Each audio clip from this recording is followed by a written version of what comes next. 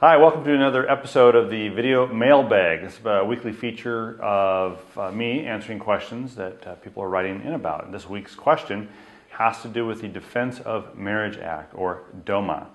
Uh, there's, uh, I've received about 500 letters uh, asking me to support the repeal of the Defense of Marriage Act.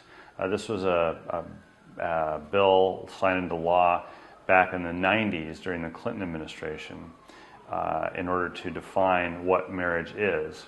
Uh, I want to let folks know that uh, uh late last year I came out in favor of marriage equality or same sex marriage. I think it is a civil right that people should be able to marry whom they love. As a result, I've also changed my position on DOMA, and I want to let folks know I support repealing DOMA this is very important in many respects because uh, you know I, have received letters from people in my district who are in fact gay and uh, living together. They want to be married. Um, I've received several letters from folks specifically asking me to step forward on this issue, in large part because of how um, having the DOMA in place affects them. And I think it's very important that we see some issues in this, in this country as civil rights issues.